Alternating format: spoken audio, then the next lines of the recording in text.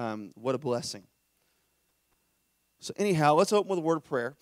Father, we thank you for what you're doing. Lord, I pray that you would just, uh, those that may be coming in late, I pray that you would just get them here safely. Lord, we pray for Kevin who had an accident, um, injured himself, Lord, that he'd be okay. We also lift up Dr. Robinson who's battling with some sickness. Also lift up Pansy who's battling with some sickness. And Lord, for all those that are traveling, Lord, I pray that you get them back safely. In Jesus' name, amen. Well, praise the Lord. Uh, this is the second installment of the fruit of the Spirit. You're going to be hearing from some different teachers uh, throughout this series. But today I'm going to cover the first two. Now, last week I kind of introduced the fruit of the Spirit when Jesus said, I'm the vine, you are the branches. Apart from me, you can do nothing. And then he said that we need to bear fruit. But what did he say he would do when we began to bear fruit? What did he say, Tim? He said he was going to start pruning. And why did he say he was going to start pruning? To bear much fruit or greater fruit. So Jesus is basically making a statement that beware, Christian, you are never going to arrive. You are never going to get to a place where you say, Oh, I've made it. Now I can sit back and rest on my laurels. God's been good to me. I'm just going to enjoy the rest of my life and put it in cruise control. We do not have that option.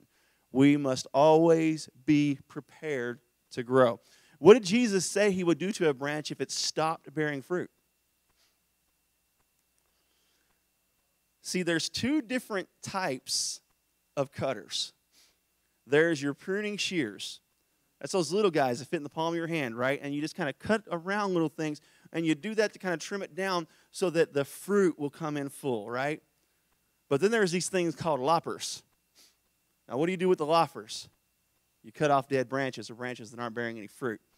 So you get to choose what instrument Jesus uses on you.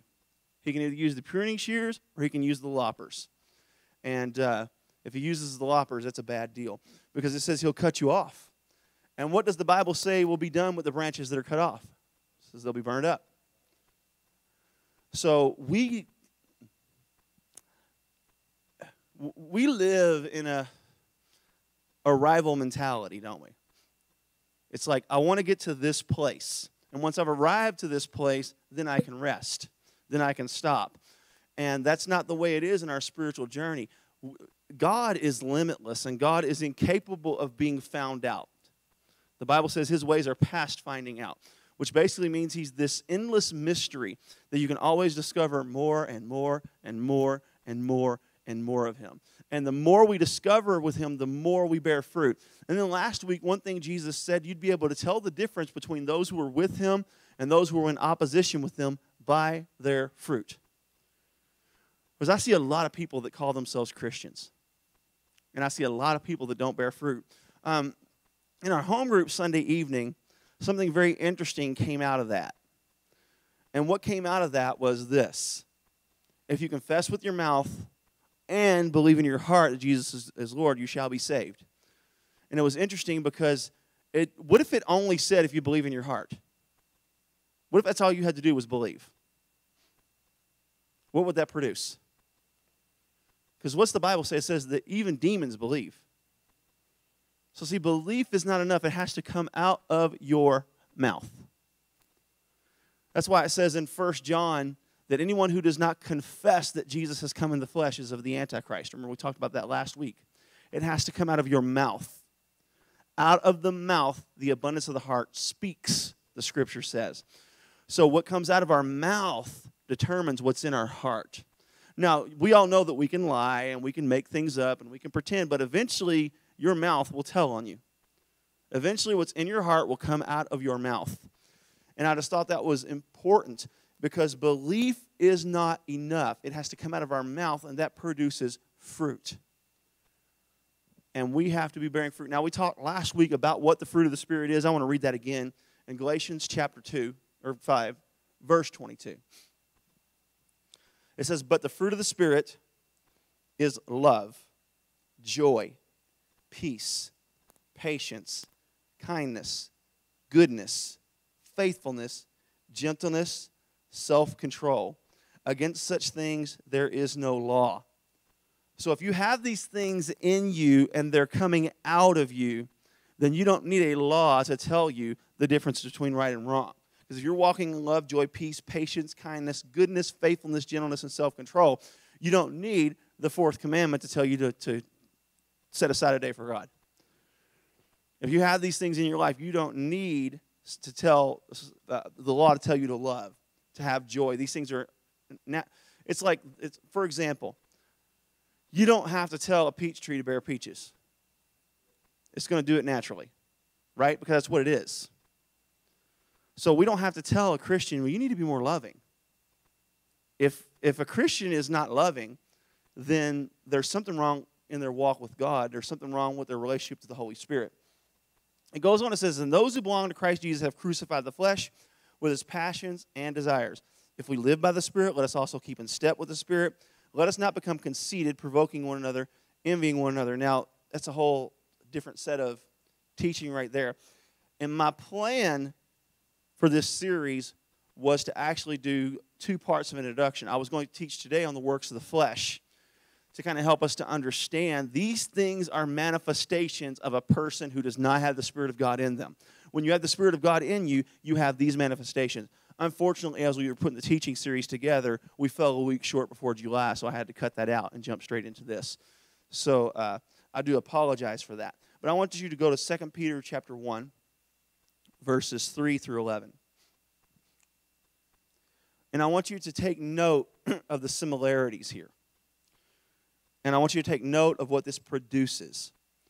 It says, His divine power has granted us all things that pertain to life and godliness.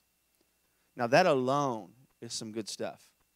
It's His power that gives us all we need to live a godly life. We don't need anything else. That's all we need is the power of God active and at work in our life. The Spirit of God working in our, and that's why this Holy Spirit conference is important because we need the Spirit of God working in us. When the Spirit of God is working in us, then we have all we need to live a godly life. You want You know what I automatically think when someone comes to me and says, Pastor, is it a sin if I blank? You know what my first thought is? You obviously don't have the Spirit of God. Because if you have the Spirit of God, you would need to ask that question because His divine power has granted us all things that pertain to life and godliness. Either that or you're coming to me because you know it's wrong. The Spirit is already convicting you, but you want me to defy the Holy Spirit and tell you it's okay so that you can blame me for the wrong that you do. Right? It's either one or the other. Yes, sir.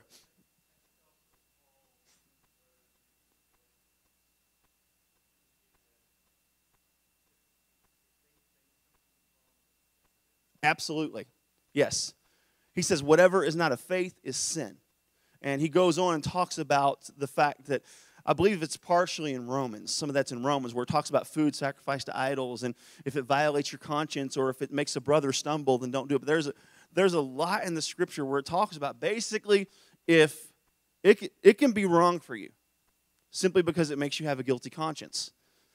So uh, stay away from it. But the Spirit of God, oh, if we would just develop a relationship, the Spirit of God is a person. It's not a thing, it's not an it, it's not a power, it's not a light at the end of the tunnel. It is a person. It is a person that we can have a relationship with. It's a person that we can grieve. It's a person who has feelings and emotions. The Holy Spirit is a person. Now, it's not a human, but it is a person in the sense that it has personal qualities and it, it behaves in a personal kind of way. It feelings and, and the Holy Spirit can be quenched. The Holy Spirit can be grieved. Um, there's, there's, so when we recognize the Holy Spirit is a person rather than a power that exudes from God, it is God. It is a person. And I think it helps us understand we need to build a relationship with Him, not it, I remember back in the day when they had revivals, they would always say, Something's got a hold on me. And oh, someone has got a hold on you. It's a person. And if we recognize that, then I think we would be more apt to receive the benefits from Him, which is everything we need. If we could just grasp that, His divine power has granted me everything I need to live a godly life. Lord, I thank you for pastors. I thank you for teachers, prophets, evangelists. Lord, I thank you for the people you put in my life. But Lord, if I don't have your spirit, what I want, Lord, is a relationship with your spirit. Lord, I want you to guide me because, see, the pastor isn't always there, the teacher isn't always there. Sometimes the evangelist won't answer the phone, right? So we need the Holy Spirit who is always there. You remember that song, Jesus on the main line? Tell him what you want. Call him up. Remember, because he's he's there all the time. So, goodness gracious, just that portion of verse 3 is worth the price of admission. The Holy Spirit is all I need to live a godly life. I'm thankful for people that He's put in my life. I'm thankful that I have the challenge of knowing I'm being held accountable by a person other than God, by a human. But if I don't have the Holy Spirit, do you realize without the Holy Spirit, even the Word of God is ineffective? As a matter of fact, to prove it, I don't know where it is, but it's in one of the Gospels where the Pharisees are quoting scriptures to Jesus. He says, You look to the scriptures as if they have life in them, and you don't even realize they are speaking about me. See, without the revelation of the Holy Spirit, no, why do you think we have dead religion? Why do you think we have people that have rules and regulations in the name of God, but there's no power? Is because they have absenced themselves from the Holy Spirit. We need the Holy Spirit. He's given us everything we need to live a godly life. It says, through the knowledge of Him who called us to His own glory and excellence, by which He has granted us His precious and very great promises, so that through them you may become partakers in the divine nature, having escaped corruption that is in the world because of the sinful desire. So, what this is saying is each of us have a sinful desire, the flesh, as they used to say back in the old King James days. The flesh, that thing in us that wants to do wrong, that thing in us that wants to fulfill all the things I, I intended to teach today lasciviousness and sexual sin and all, all kinds of different things. All these things we want to do in our own nature. But when the Holy Spirit comes inside of us, He changes our nature and He makes us partakers in the divine nature. So not only does the Holy Spirit give us everything that we need to live a godly life, He also makes us partakers with His nature. All of a sudden, I take on the nature of the Holy Spirit. All of a sudden, I become more like Him. All of a sudden, I have a relationship with Him to where I become more like He is. And then it goes on and it says, For this very reason. Now, what reason are we talking about? Because we have divine power to live a godly life, and we have uh, participation in divine nature. For this reason, make every effort to supplement your faith with virtue. Now, I, I want to point out something the fruit of the Spirit love, joy, peace, patience, kindness, goodness, faithfulness, gentleness, self control. The first one is faith. Now, we do know that faith and faithfulness are two different things. However, faith and faithfulness are correlated. It says, with your virtue, or add your faith with virtue, and virtue is the same thing as goodness and with reverse you knowledge, with knowledge, self control, obviously mentioned directly in both, and with self control, steadfastness, which is the same thing as patience, and with steadfastness, godliness, and with godliness, brotherly affection, with brotherly affection, love. Brotherly affection is the same thing as kindness, Philadelphia, and love, obviously, is the same thing as love. Now, listen, it says, For if these qualities are yours and are increasing, they keep you from being ineffective and unfruitful, which we're talking about the fruit of the Spirit, in the knowledge of our Lord Jesus Christ. For whoever lacks these qualities is so nearsighted that he is blind, having forgotten that he was cleansed from his former sins. Therefore, brothers, be all the more diligent to make your calling and election sure. Pardon me for a minute.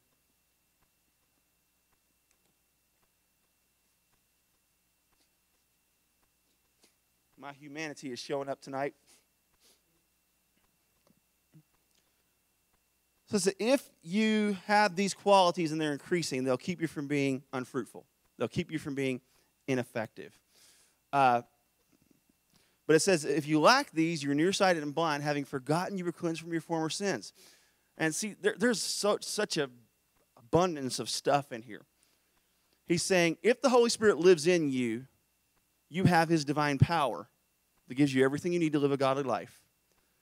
And you're participants in his divine nature, which comes with fruit love, joy, peace, gentleness, kindness, faithfulness, self control, and goodness, gentleness. And all these things are in you now, and they should be increasing.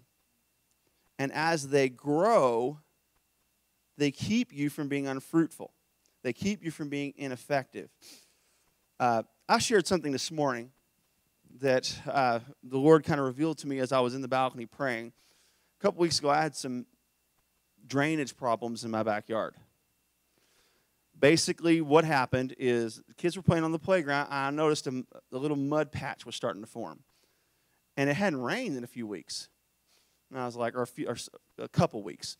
And I was like, what's going on here? So uh, I didn't think anything of it. And then it rained. And then we had something that weekend, and the rain had cleared off. The sun had, you know, dried up the ground, except that one spot. But it was different. It became like a marsh. You, I, I stepped in it and nearly lost my shoe. My, my entire foot went in the ground, and I was like, okay, something is going on, because it hasn't rained in two or three days. So, me being the person I am, we were having a birthday party. They were singing happy birthday to my daughter, and I had a shovel digging up the yard trying to figure out what was going on because I just can't let things just like to just sit. And then I discovered there was a corrugated pipe, one of those larger ones, that had been buried in my backyard. And everybody knows what happens if you bury a drain pipe, right? If you bury a drain pipe, it gets stopped and it'll soak in the ground until the ground can't contain anymore. This house is 13 years old. So for 13 years, that drain pipe seemed ineffective in its ability to get the top of the ground wet because it was all going down. But as it rained and rained and rained and rained, and that moisture just kept building and building and building and building, it eventually had nowhere to go but up. Right? And uh, that's what created that problem. And that's the way it is with us sometimes. Sometimes we feel ineffective, and the enemy tries to discourage us, saying, Oh, your efforts are not paying any dividends. You've been praying, you've been seeking God, and look at you. You're still stuck in this same spot, and you're still doing this. But what you don't realize is you're making a difference in things you can't see. Because, see, that ground, there was a part of that ground I couldn't see that was creating a problem I didn't even know was coming. And I'm not saying God creates problems, but what I am saying is sometimes your efforts are working under the stuff, right? But it seemed like overnight my ground turned into a marsh. And eventually, overnight, you're going to see progress. It's going to seem overnight.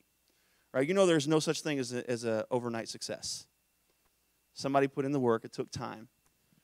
So just whenever you feel ineffective, remind yourself I've got everything I need to live a godly life.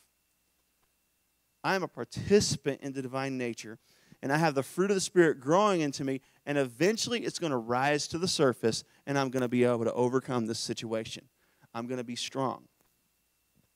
I think there's a lot of people that get discouraged right when they're to the point of breakthrough, right when they're to the point where the water is going to burst forth from the ground and be free. Because that, that water had a desire. What was its desire? To be able to run free, right? But it was being blocked and it was working under the surface and working under the surface and finally created a problem for me but the water achieved its objective it was free so you may feel bound up you may feel blocked but eventually if you continue to pray if you continue to seek god if you continue to develop a relationship with the person of the holy spirit you're going to achieve breakthrough so long story short i spent the evening with a shovel digging a trench all the way down to my fence went and bought 25 feet of corrugated pipe and created a French drain at the right at the edge of my fence. So now it drains downhill into the sewer. Be free, water. Go ahead. Have fun. Um, just don't tear up my yard no more. It says, Whoever lacks these things is nearsighted, so nearsighted that he's blind, having forgotten he was cleansed from his former sins. Therefore, brothers, be all the more diligent to confirm your calling and election. For if you practice these qualities, you will never fall. How many of y'all want to sign up for that? I want assurance of my salvation. I want to know that I'm never going to fall. So, what do I do? Build a relationship with the person of the Holy Spirit. You wake up in the morning and you talk to the Holy Spirit. In the name of Jesus, you don't get anywhere without Jesus. Understand, they're all one God the Father, God the Son, God the Holy Spirit, they're one God. So don't get hung up on technical terms, but it's just build a relationship with the person of the Holy Spirit. God, He's the one that lives in you. Amen? The Holy Spirit is the one that lives in you. So build a relationship with Him. Let Him grow you. Let Him produce His fruit through you. Now listen to this. Says, For in this way there will be a richly provide, uh, provided inheritance for you at the entrance into the eternal kingdom of our Lord and Savior, Jesus Christ. Well done, good and faithful servant. See, here, here's what I believe. There was a time when I first got saved because it was taught to me this way that I believed you could have no certainty of your salvation, that my salvation was 100% dependent upon me. Any mistake I made, anything I did wrong, and the Holy Spirit left me. And I had to get myself back to that altar, and I had to get myself right with God because I didn't want to go to hell. And I lived like that for a few years. Riding on the horns of the altar, terrified that one mistake was going to be the one where God wouldn't come back, where the Holy Spirit wouldn't come back. I don't know how I got that thinking. It's probably a result of some of the teaching that I sat under. Who, who, who knows how I got that? But I'll never forget when I got the understanding that my salvation is a partnership. I do my part, but God has done his part. And as long as I stay in relationship with him, he will work with me through my faults. That's called sanctification. I'm growing, I'm getting better, I'm getting stronger. I'm not perfect. Because, I, see, I figured out something one day. I figured, you know, I've never met a person that's perfect. Now, if I've never met a person that's perfect, that means A, nobody can know whether or not they're saved or B, there's something wrong in my understanding because his word says his spirit bears witness with my spirit that I'm his kid. And I knew I was God's kid. I knew I had been saved. I knew I was the man, I, I, I, I was a different man than I had been before. So I began to question this loosey goosey, save lost, save lost, save lost, save lost, based on the fact that I messed up. And I didn't go all the way to eternal security to where no matter what I do, no matter how I live, I'm going to be saved because I'm a good old Baptist boy. And I, I said the sinner's prayer when I was 12. So therefore, I can live however I want and I'm still going to go to heaven. No, I, I didn't go to that extreme either. But I didn't go to the extreme that my salvation is lost every time I make a mistake. Build a relationship with the Holy Spirit. And then you can know because if you have a relationship with the Holy Spirit, He is going to challenge you. Remember, Jesus said, I'm the vine, you're the branches. If you're bearing fruit, I'm still going to prune you because I want you to bear much fruit. So once I got that revelation, things didn't get a whole lot easier. I still had to struggle, I still had to grow, I still had to learn. But I did those things with security, knowing, you know what, my foundation is secure. My faith is in Jesus. The Holy Spirit lives inside of me. I'm God's kid. He loves me. I'm firm in Him. And it, it released me from having to work out my salvation to be able to work on my growth. Does that make sense? In other words, I, didn't go back to the foundation, getting saved over and over again. I was actually focused on now I want to become more like Him. I want to grow in my relationship with Him. Uh, it was talked about last week that uh, in the Old Testament, it was more about what's right and what's wrong. In the New Testament, it's more about growing in Him and becoming more like Him. So I just thank God for that revelation. But I want to cover two of the nine fruit of the Spirit today love and joy. And these two are very deeply connected. Actually, they're all very deeply connected. But the word love is the Greek word agape. And what it means is caring and seeking the highest good of others without any motive for personal gain. Now, I'm going to say that again caring and seeking the highest good of others without any motive for personal gain. So, love means I am putting the good of everyone else above myself, and I don't want to get anything out of it. Anything I get out of it is based out of the goodness of God. but my desire is for the good of others, even if it costs me personally. Now, is that what we hear love defined as in the world today? Because if love was the reason people got married, how many marriages would end in a divorce? None. Because I'm always going to put the other person before myself, even if it inconveniences me. Even if I lose. Even if the other person wins and I lose. Because I love them. And see, that is the purest definition of love. The Bible says that God is love, which we'll get to in a minute. So if God is love, and God is good, and God is perfect, then we know that love in its purest form comes from Him. And see, here, here's an interesting thing about God God is infinite, God is eternal. So, what does that mean about His love? It's infinite and it's eternal. So, there's no end to it. It's perfect to infinity, it's perfect to eternity. There's no end to its perfection. His love isn't like ours, it isn't stained, it isn't hampered by sin. See, God is holy. And the word holy just simply means he's set apart. He's independent from his creation. So even though his creation became corrupted through sin, God did not. So his love did not. There is no selfishness in God. He always seeks the good for his creation. So, since love is an attribute, which means a quality that God possesses, we can take courage in knowing that He can teach us to love through the Holy Spirit living in us. So, think about this. If the Holy Spirit lives in us and the Holy Spirit is God and God is love, then what do we have living inside of us? Love. Right? So, that means we can grow in that. Because, again, remember, God's love is eternal and it's infinite, but we're not. We're limited. So, that means we are incapable of becoming as loving as God.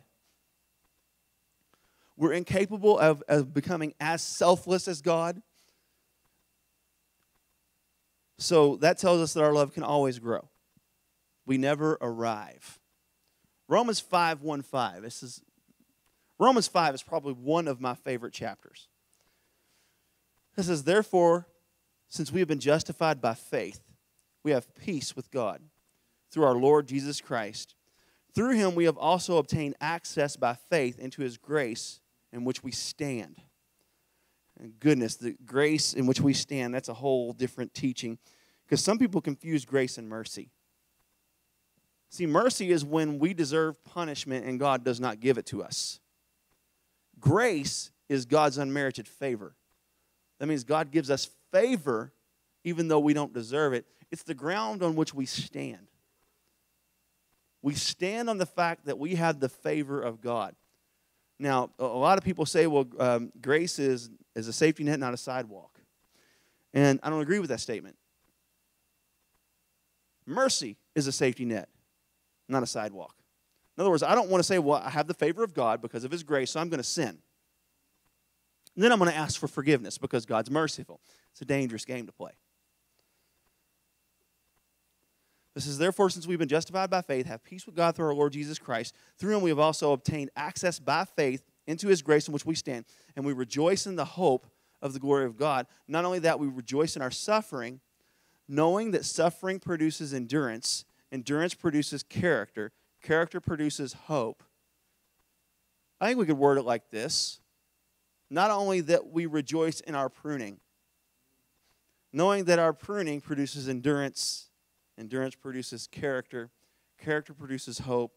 Hope does not put us to shame because God's love, listen to this God's love has been poured into our hearts through the Holy Spirit He has given to us. So when we become God's children, His Spirit bears witness with our spirit that we're His kids. And His Spirit pours His love into our hearts. We have a constant supply of love. Now, the world has a very confused definition of love. Can some people give me some examples of what the world's definition of love is? Tim, go ahead. Okay, sexual. A lot of times it is sexual. And actually, there is a Greek word called eros, which means love in a sexual way. It's a romantic love. Yes, Andrew, and then I'll get to you. Okay, yes, love is a feeling. Uh, get butterflies in my stomach. I saw a joke today that I thought was so funny. Instead of butterflies fall in love, do they get people in their stomach? I thought it was hilarious. Um, you, you can take that home and do whatever you want to with it. I thought it was great. Um, Chad, go ahead. Okay, m- materialism. I love things. I love pizza. I love beans. I love, you know, chicken and long walks in the park and, and those things. But there's something I'm looking for that today people really confuse love with. There you go. Acceptance or agreement. In other words, if you love me, you'll agree with me. Uh, the homosexual community uses it a lot. It's not very loving to call out sin, they say. Well, let me ask you a question. If you knew that your backyard was full of vipers and the grass was kind of tall and your children could not really tell they were back there and you saw them running toward those vipers, would it be loving to say, Oh, I'm just going to accept them the way they are? Or would the more loving thing be to go and get them and say, No, there's danger out there. Those things will kill you. So, isn't it the same? Sin is like a viper. Sin is destructive, it is deadly, it is hurtful to the person. So, to tell them what you're doing is wrong is actually an act of love. See, the world has confused love to the point that I can't say anything that makes you feel bad, which ties back to what Andrew said feelings, which ties back to what Chad said, which is uh, uh, my, my train of thought got material things, yes.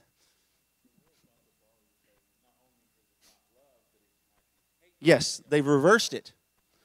They've said it's hateful. How many times have you heard the word bigotry and hatred used when it comes to someone telling them, no, you can't do this. If you remember, I can't remember what county it was, but the lady that was the county clerk that refused to issue the marriage license. She was painted as this hateful, mean, nasty, ornery person when the only thing she said is, This violates my conscience. We, have, we had a bakery shut down because they wouldn't make a cake for uh, a gay couple when they had served them cakes all the other times and treated them good. We have turned love into hate in this world. But love is truly seeking the highest good of others, even if you get nothing out of it, even if it costs you dearly. And God, love, I, I love this, was poured into our hearts through the Holy Spirit who was given to us. Paul's first letter to the Corinthians gives us the greatest description of love in the entire Bible. Uh, we hear this read at weddings often. 1 Corinthians chapter 13. Because Pentecostals, that we run a risk of elevating the gifts over love. Because I will tell you something. There are some mean Pentecostals out there. Speak in tongues by day and rip you up one side and down the other by night. And Paul wants to address that issue. He says, If I speak in the tongues of men and angels but have not love, I'm a noisy gong or a clanging cymbal. What's he saying there? Love is more important than tongues. If I have prophetic powers and understand all mysteries and all knowledge and have all faith. Now, you notice he's listing the gifts of the Spirit. Are you noticing this? But have not love, I am nothing. If I give away all I have and deliver my body to be burned, but have not love, I gain nothing.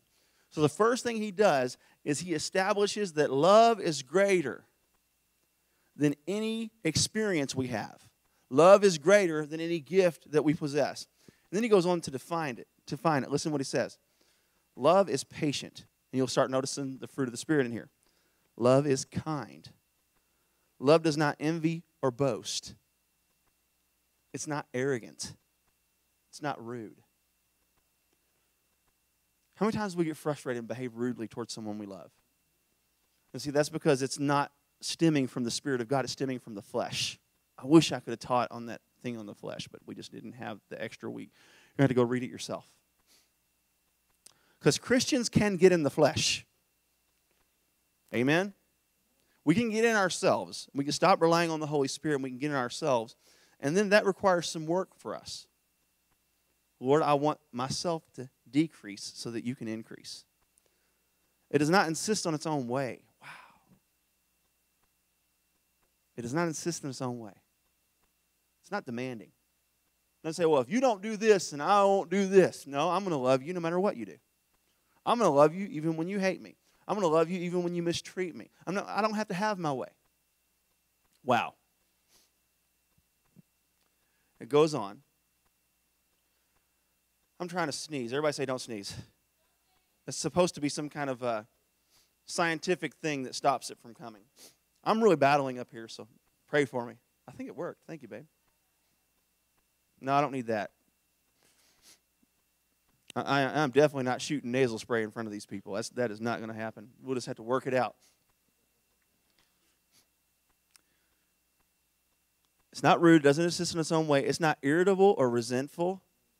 So think about this. When you're being impatient, unkind, boastful, arrogant, rude, insistent on having things your own way, when you're irritable and resentful, you're not walking in love.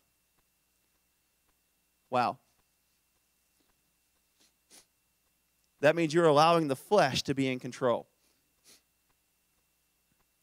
We all do it, don't we? We get frustrated. Gosh, it's so easy to get frustrated. In fact, just a couple of days ago, if I want to snitch on myself, one thing I try to be is who I am. I don't try to fake you all out from the pulpit. We were building, uh, what was it? The screen for the the box garden, and we had this mesh stuff. We didn't get chicken wire. We cheaped out because, you know, we didn't want to spend the money on the chicken wire. We got the cheaper, meshy stuff. I don't know if you ever worked that stuff. It's a pain. And my wife and I are trying to stretch it over, getting hung up on everything. I started getting frustrated. And she said something to kind of correct me, you know, aren't you a joy to work with, or something like that. And it kind of stings when that happens because then it points out my flesh. And then my flesh wants to react even more. Oh, yeah, well, you're, you're not a day in the park yourself. How about that? Hmm, what you got to say now? And I have to check myself. And then when the project was over, I said, sorry, babe, I was, I was being kind of irritable. It's not a product of love. Love takes work. Having a relationship with the Holy Spirit takes work because I am flawed. If I want a relationship with the Holy Spirit, but you know what? I want to grow to the place to where my wife and I can build a 710 piece playground with the tools they provide and not the fancy ones in the garage and us not have a fight. Jesus help me. Jesus help me. We can we can barely build a table without fussing right now because it's just you, you know when love is the most difficult to express when you're not in your element when you're struggling with something when you're doing something you know you're not good at because you're starting to get that frustration. And what I should have done when I was seeing that irritation build up is I should have said, Lord, I want a relationship with your Holy Spirit. Help me to walk in love. Help me to walk in love. It's an opportunity to learn. And here's the thing if you blow it, don't beat yourself up. Just say, Sorry, I got irritated. And guess what? Love was restored. Amen? Build on it, grow in it. Understand it's going to happen. We are imperfect people. Probably not going to get a whole lot of handshakes today. Praise the Lord. Some of y'all may get that, some of you may not. But I am battling up here. Uh, it does not rejoice at wrongdoing. Oh, my goodness. Oh, man, this is some good stuff.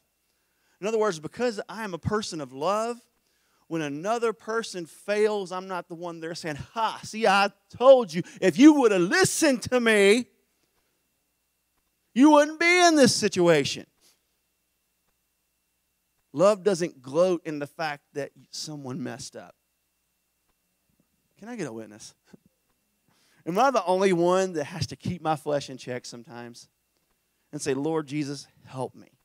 Help me to love. Help me to not rejoice when the first person finally gets what they deserve. I told you it was coming. Ha! Help me, Jesus.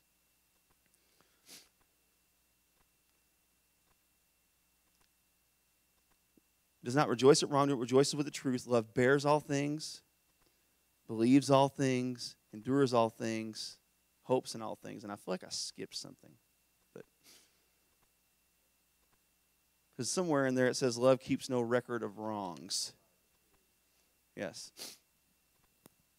Love is patient, kind, does not envy, boast, does not insist on its own way, not irritable, resentful, does not rejoice at wrongdoing, but rejoices in the truth. Love bears all things, believes all things, hopes all things, endures all things. Love never ends. For where there is prophecies, they will pass away. As for tongues, they will cease. As for knowledge, it will pass away. For we know in part, we prophesy in part, but when perfect comes, the partial will pass away. Now, a lot of people miss what that's talking about. What he's saying here is these gifts that God gave us discernment, tongues, interpretation, prophecy, faith, wisdom, knowledge, healing, miracles all these things one day they're going to stop because the perfect is going to come. Jesus is going to come. But and I know people misunderstand that part. But I think the part they miss the most is this. For we know in part and we prophesy in part. You know what that's saying? We don't know everything. Even when we're functioning in our gifts, we only have partial knowledge.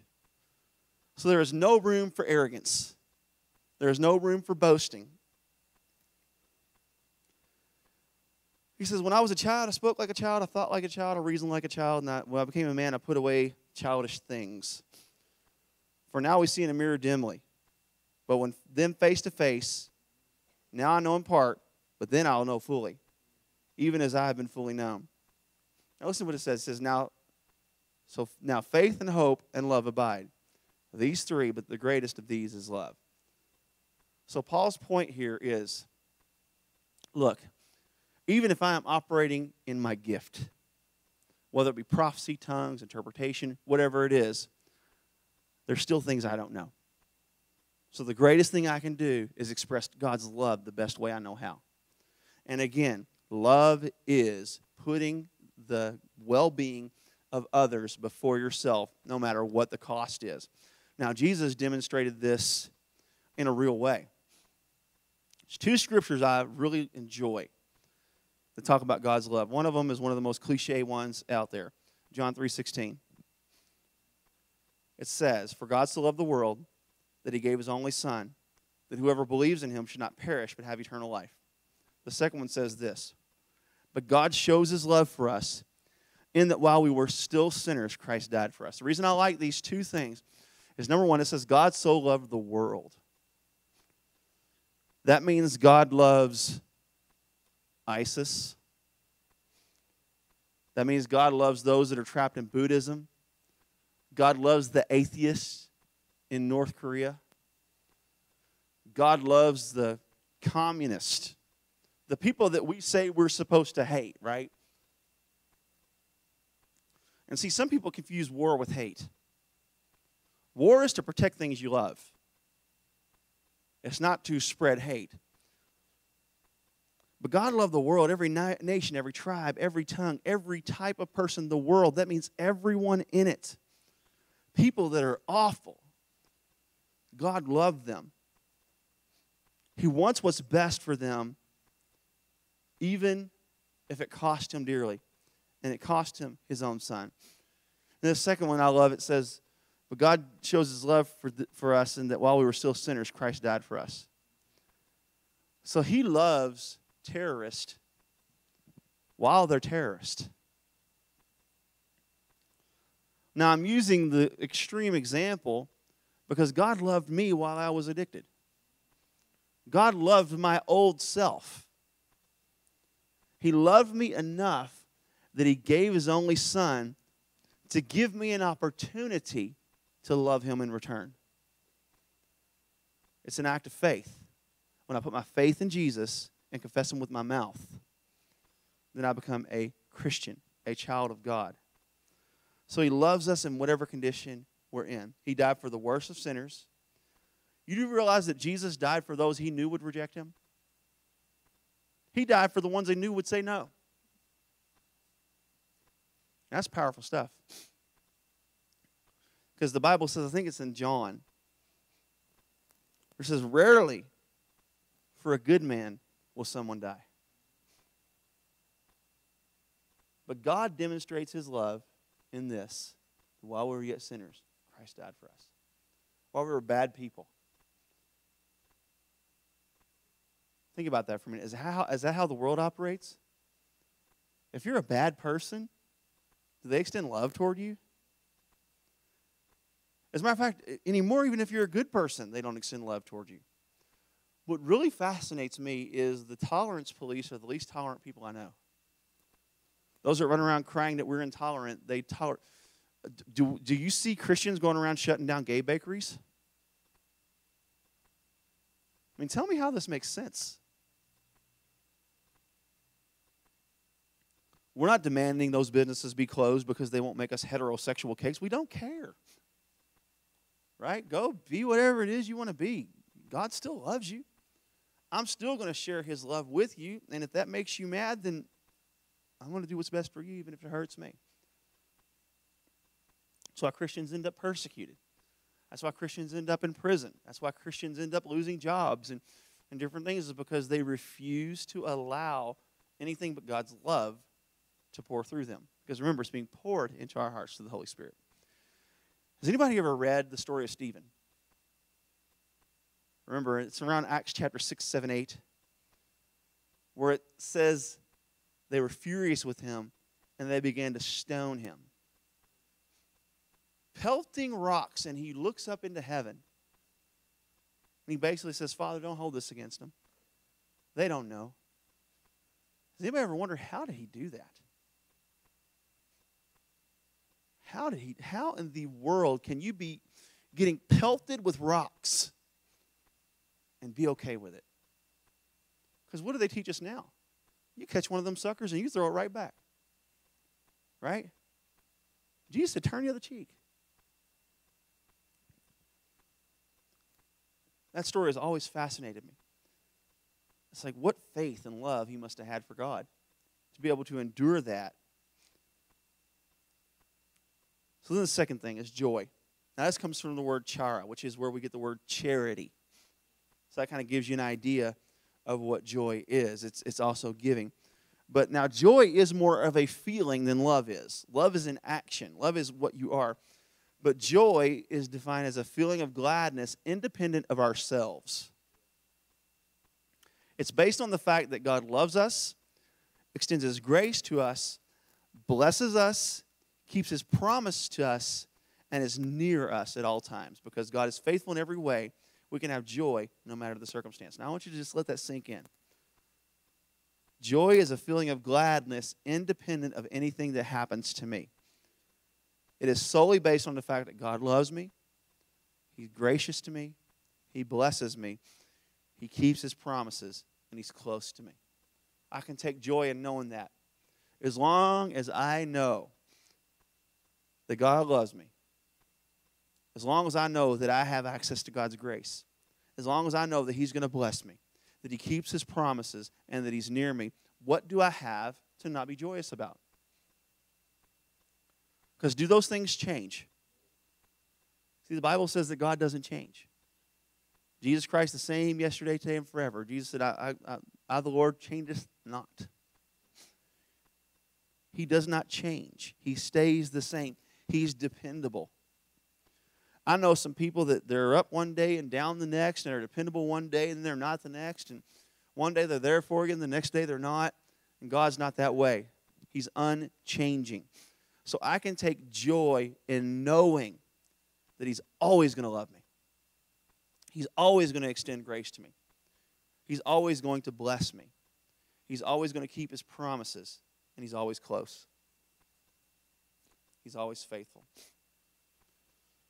So if we can understand this joy is about God, not us.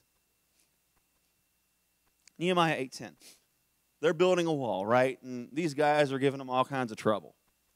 Nehemiah's up on the wall. They're trying to build the wall to surround Jerusalem so they begin to rebuild the city because it had been attacked. They had sinned. They had made some mistakes, and God allowed the enemy to overtake the city. And they come back and they start rebuilding the city. And there were some critics. Anybody ever had any critics? He come and say, "Oh, Fox could knock that wall down. That's the weakest wall I've ever seen." And they begin to try to distract them and discourage them. And in Nehemiah chapter eight, he said this: "Go your way, eat the fat, drink sweet wine, send portions to anyone who has nothing ready. For this day is holy to our Lord. Do not be grieved, for the joy of the Lord is your strength." The joy of so whose joy is my strength? Is it my joy? It's the Lord's joy. Now, where does joy come from? It's a fruit of the Spirit. So, again, it's important that we develop a relationship with the Spirit of God, with the Holy Spirit, because that is our source of joy. How can we have joy in difficult circumstances? Uh, back in 2010 ish, early on, our church was going through a great deal of turmoil and I was in the eye of the hurricane.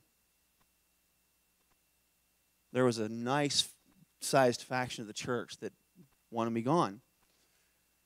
And I remember it was the Sunday for this guy to candidate. Here's the way they set it up. I'm just being, being me. They set it up where they would candidate two people at once because it required a two thirds majority, or I'm sorry, yeah, a three quarters majority for a pastor to be elected. You run two candidates, that makes that impossible. I knew this. God knew this. So they bring this candidate in. They made me take all my pictures and study material out of the office, put it in a box, put it in my vehicle, and they told me I could not come to church that weekend. So Beth and I go to find a church, and we struggle with it, can't find anywhere, end up missing church that Sunday. Um, we tried to get in several churches and just it nothing. One of them was closed that day. It was like the pastor just said, "Hey, we're going out of town. Uh, good luck." Uh, seriously, that's seriously what happened. And then another one, they were having multiple services, and we could not get in the parking lot. So finally, time passed. We've missed Sunday twice. We've missed church twice in my life since I've been saved. Comes time for the election, and they tell us that we can't come to the business meeting. So I'm pretty anxious we're stuck holed up in my office. And they're in there voting on our future. And of course, we knew we got voted out. And I remember when the board member came in, his face was downcast because he was on our side. He wanted us to get the church, and, and you know, it was sad, but you know, I never lost my joy because my joy wasn't dependent on my position here. And ultimately, we know that God turned things around in a hurry. But I share that story to tell you you can find joy in the most devastating. I not only had I just lost my church family, I lost my job all in the same day. I was devastated. I did not know what to do. I didn't know how to put in a resume for a senior pastor. I'd never been a senior pastor before. I'd been a youth pastor. I had no idea if I was going to get any, get any interviews. I, I did not know what to do. So the only thing I did is I was like, God, your joy. Your joy is my strength. I don't need good circumstances to have joy. I refuse to give in to a bad attitude. I refuse to feel sorry for myself. I refuse to give in to this thinking. I am going to keep my joy. And the next service, we had a service called Seven Ways to Praise. I didn't preach. We danced the entire service. We threw down the band, and I mean, we danced all. I had no idea God was about to come through and change everything, which I, I'll save that story for another day. But I believe God honored the fact that I recognized His joy was my strength, not my position, not my church family. I love you all. But if you all were the source of my joy, I would have no joy today because most of you aren't here. My joy is in Him. And the only reason I share that story is because I know some of you have had some devastating things happen. I felt like my world had fallen apart, had no idea what to do. But I had this reservoir of joy inside of me, knowing that, you know what? God still loves me. Some of you all need to say that when you're tempted to give in to despair. God still loves me. God still extends grace to me even when I make mistakes. God blesses me. He keeps his promises to me, and he's near me at all times because he's faithful. Some of you need to declare that over yourself. Lord, you love me. You give me grace. You bless me. You keep your promises. You're close to me, and you're faithful. Don't care about my circumstances. Lord, I'm going to trust you in the midst of my circumstances, and I'm going to have joy in the middle of it. Because how many times have you heard Christians having a bad day? And it would have been easy for me to do that next Sunday. Everybody knew I got voted out. It's really funny. I said, but we want you to stay and preach a few Sundays till we get this figured out. Now, what I wanted to say is, hey, suckers, figure it out. I'm out. Right?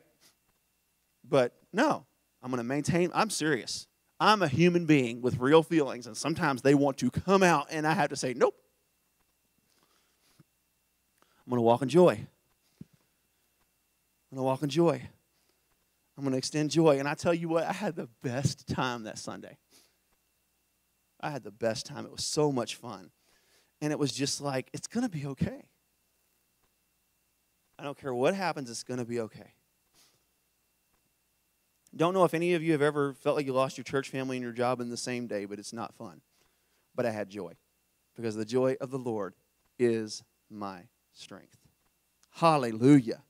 Thank you, Jesus, that I don't have to depend on my circumstances to bring me joy. I can depend on the Holy Spirit living inside of me, that's pouring love inside of me through the Holy Spirit. I can have joy. So can you. No matter the circumstances, no matter what you're dealing with. John 10, or John 15, I'm sorry, 10 through 15 says, If you keep my commandments, you will abide in my love, just as my father's, uh, or just as I've kept my father's commandments and abide in his love, his love. These things I've spoken to you, that my joy may be in you, and that your joy may be full. This is my commandment that you love one another as I have loved you. Greater love has no one than to lay down his life for his friends. So notice Jesus talks about three things here. Number one, a willingness to obey. Right? If you love me, keep my commandments. The second thing that he talks about is love. Specifically, loving others. Right? He says, Love one another as I have loved you. And he talks about joy. And here's what I believe can help you grow in joy. Number one, do what God says. You realize you cannot have joy in your life if you're disobedient. Disobedient does, disobedience does something to your confidence. Does that make sense? If you're living a disobedient life, it wrecks your confidence. It's like, God, are we okay? You don't have to answer that question if you're obeying Him. Now, sometimes your first act of obedience is repentance. Amen. God, I blew it. I'm sorry. Help me. But then the other thing is how can I have joy? Loving others. Putting the needs of others before myself. You know another reason why I had joy in the midst of the trial? Is because I told myself, Lord, I know that I've given everything to this congregation. I know that I've put them before myself. I know that I have allowed personal suffering to protect them. I never use the pulpit to air out the dirty laundry of the church. I always use it to encourage, Lord, I know I have walked, I know I've obeyed your commandments. And I know I've loved these people. So I can have joy.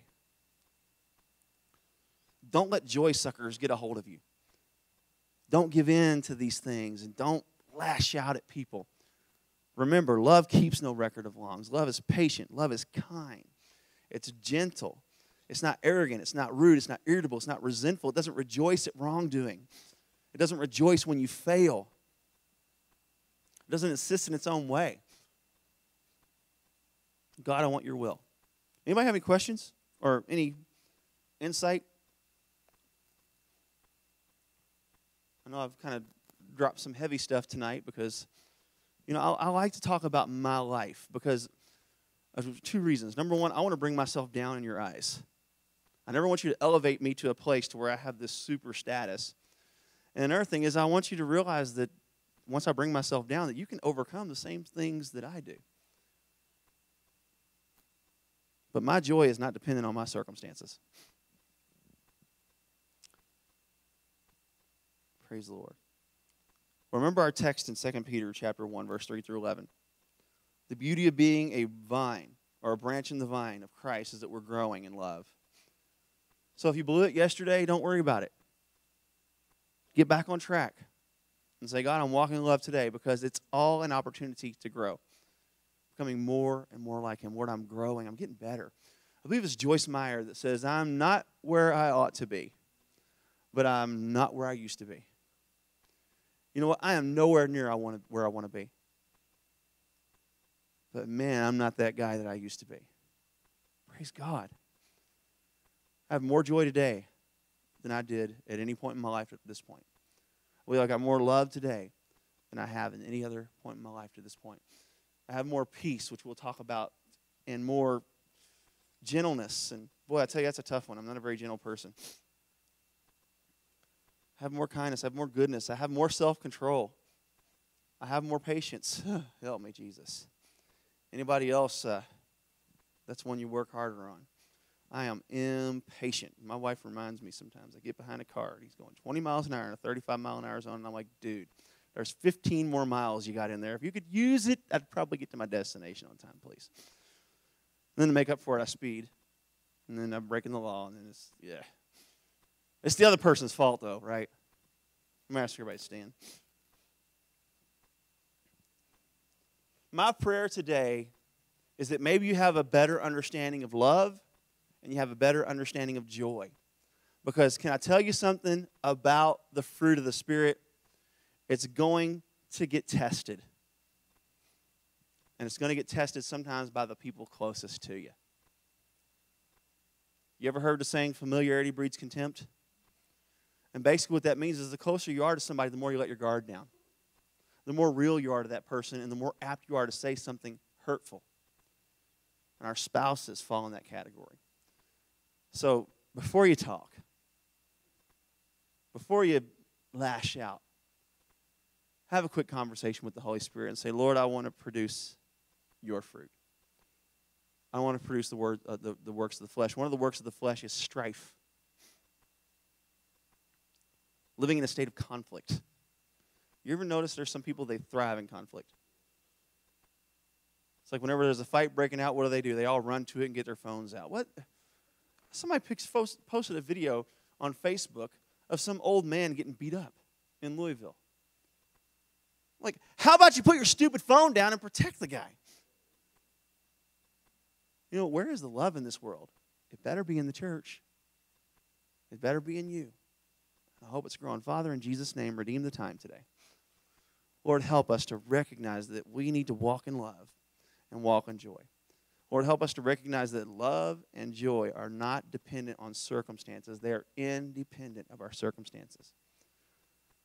We can have love, we can have joy in the midst of hate, in the midst of anger, in the midst of strife. We can have a smile knowing that the joy of the Lord is my strength.